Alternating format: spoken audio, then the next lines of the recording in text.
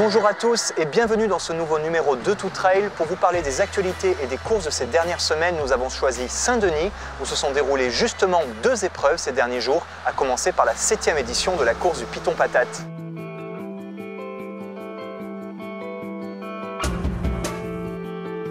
Ça s'est passé le 19 avril à Saint-François. Cette course du Piton Patate, c'est un petit format de 10 km, mais de quand même 800 mètres de dénivelé, avec plusieurs boucles à réaliser autour de la zone de loisirs. Près de 150 coureurs y ont participé, soit un petit rassemblement sans tête d'affiche, L'occasion pour certains de réaliser leur premier podium, comme Yannick Imbrosiano, souvent bien placé sur les autres courses, qui a remporté ici sa première victoire en tout juste 1 heure et 28 secondes. J'étais là vraiment pour m'amuser, ça m'a fait très bizarre d'être tout seul devant. Mais euh, voilà, une bonne, euh, bonne semaine d'entraînement, c'était pas un objectif, c'était vraiment pour s'amuser. Et c'est surtout que c'est court, on n'en a pas pour longtemps. En une heure, c'est à peu près bouclé et c'est bien, c'est pas trop traumatisant, euh, c'est bon, c'est cool. Chez les féminines, c'est Tombeline Blanc, tout aussi surprise, qui a remporté l'épreuve. Jamais très loin de son mari Pascal Blanc pour l'assister sur les autres courses, elle retrouvait cette fois-ci le plaisir de courir en compétition. Ça fait plaisir de retrouver le sentier. Et je m'attendais pas à un parcours aussi hard. La montée, c'est. Bah, ça va, j'aime bien la montée, donc ça montait bien. Et la descente, c'était encore plus dur. Mais ça va, il y avait une super ambiance sur le, parcours. Du coup, euh, les gars, ils motivent bien et, voilà. Et à chaque fois, tu passes ici, donc tout le monde t'encourage, c'était cool. Autre course, autre format, c'était cette fois-ci la semaine dernière, mais toujours dans le chef-lieu, avec la dixième édition du Détour qui proposait, comme chaque année, deux parcours différents, un 45 et un 60 km.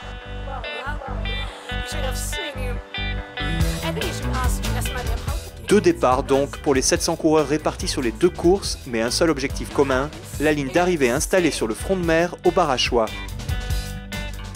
Le premier à l'avoir rejoint est une légende du trail local, Richeville Esparon. À 50 ans passés, le double vainqueur du Grand Raid en 2003 et 2004 a renoué avec la victoire sur cette course qu'il connaissait déjà bien pour l'avoir terminée à la deuxième place en 2013 et à la cinquième place l'année dernière.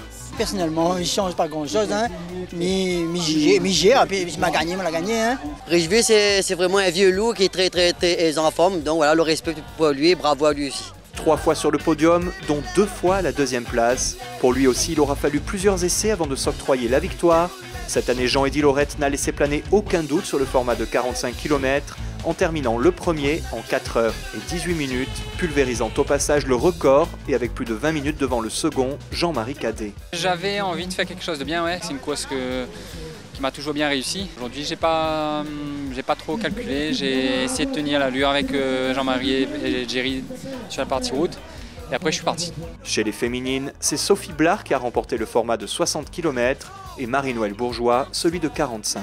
Je suis contente de, retrouver les sentiers de la Réunion. Donc, euh, sur tout le détour, j'adore le, bah, le profil, on monte, on monte et on redescend. C'est un peu comme l'arc-en-ciel en plus petit. Donc euh, vraiment, je me suis éclatée, c'était super et euh, il n'y avait pas trop de mou, donc c'était bien sympa. Le résultat est là, donc je vais dire que tout s'est bien passé, mais c'est vrai qu'en ce moment, je traverse une grosse période de fatigue.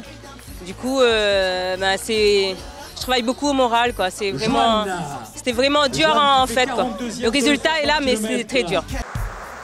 Intéressons-nous maintenant à une autre compétition qui s'est déroulée dimanche dernier dans l'Ouest, le Xterra de la Saline. Cette épreuve multisport proposait d'enchaîner un parcours de natation dans le lagon avec une boucle de VTT et un parcours de trail le long de la plage et dans la ravine de trois bassins. Ce triathlon plus typé nature, organisé depuis trois ans par le club ORT, a intégré cette année le circuit mondial Xterra pour devenir une étape à part entière de quoi attirer des cadors comme les Sud-Africains Bradley Weiss et Carla Van Enstein, les vainqueurs hommes et femmes de l'épreuve. Les trailers avaient eux aussi leur mot à dire avec certains d'entre eux qui se sont essayés à cet exercice du multisport, comme Pascal Blanc, qui en tant que novice s'est quand même offert une belle 13e place au scratch. On a toujours besoin de nouveautés quoi.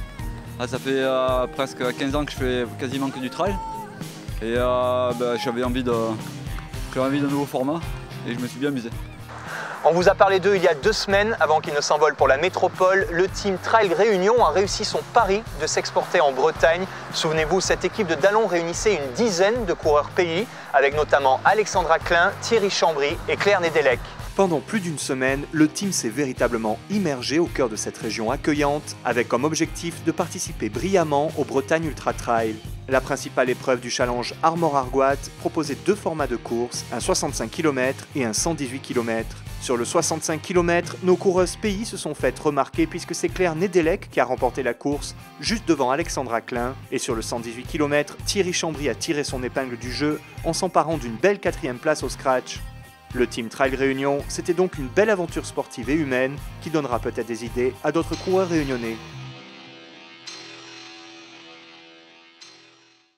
Voilà, tout trail c'est fini pour aujourd'hui. On se retrouve la semaine prochaine, même heure, même chaîne. D'ici là, vous pouvez nous suivre sur notre page Facebook. À bientôt.